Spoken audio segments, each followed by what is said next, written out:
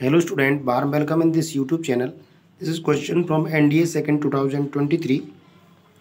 If tan alpha equal to 1 by 7, sin beta equal to 1 upon root 2, alpha is greater than 0 and beta is less than pi by 2, then what is the value of cos alpha plus 2 beta? Here cos alpha plus 2 beta asked. So tan alpha is given to us 1 upon 7. We can make a triangle here it is alpha. Tan alpha is 1 upon 1 perpendicular over base. So this is 1 square plus 49 this is 50 50 means 5 under root 2 okay. So from here we can get cos alpha which is uh, 7 upon 5 root 2 and sin alpha which is 1 upon 5 root 2 it is also given that sine beta sine beta equal to 1 upon root 10 so we can make another triangle. This is beta. So 1 upon root 10 and this will be and root 2 10 square minus 1 square. This is 993 so here cos beta is also 3 upon root 10 cos beta equal to 3 upon root 10 and sin beta is this. So cos alpha plus 2 beta equal to cos a cos b minus sin a sin b.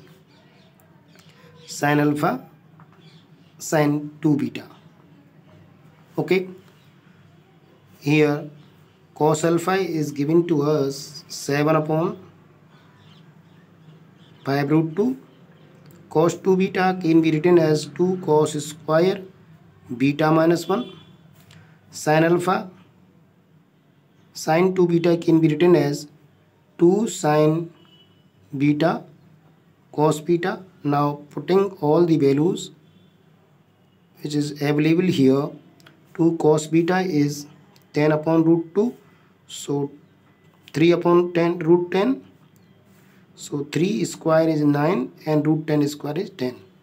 Minus 1 minus 2 sin alpha is here 1 upon root 5 root 2 1 upon 5 root 2 into sin beta is 1 upon root 10 and cos beta is 3 upon root 10.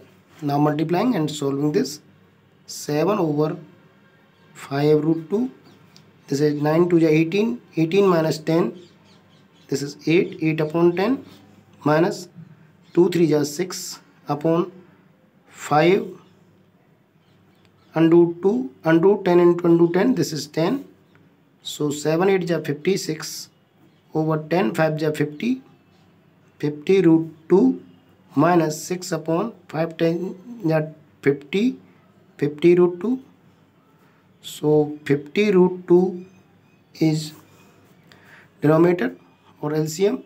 So 56 minus 6 this is 50 upon 50 root 2 so this is cancel out. We got 1 upon root 2 so 1 upon root 2 is the value of this question which is found in option C. Therefore option C of this question is correct. I hope you got it. Please like the video. Subscribe the channel Thanks for watching.